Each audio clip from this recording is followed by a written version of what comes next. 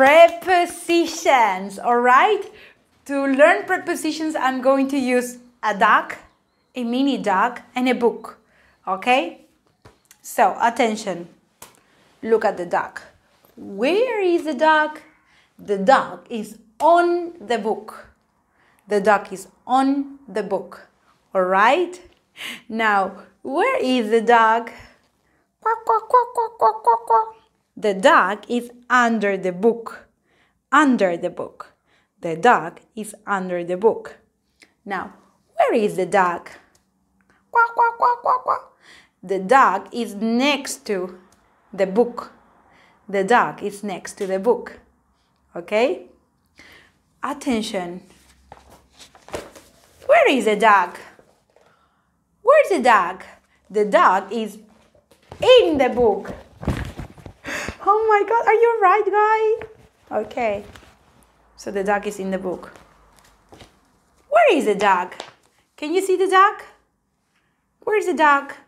The dog is behind the book. Hello? Hello? Quack, quack, quack. Yeah, the dog is behind the book. Uh huh. Yeah, you're right. And look. Quack, quack, quack, quack, quack. Where's the dog? The dog is above the book.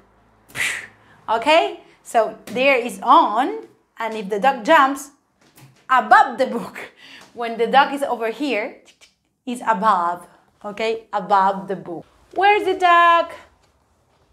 The dog is between the books.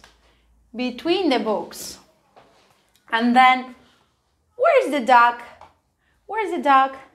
The dog is uh, in front, in front of the book. Where's the teacher?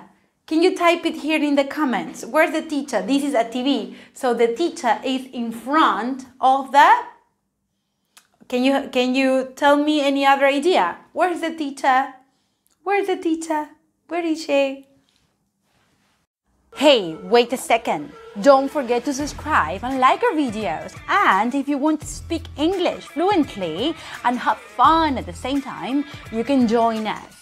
You can find more information, photos, and videos on our Instagram page, Rivendell English, and also on Facebook. Bye bye.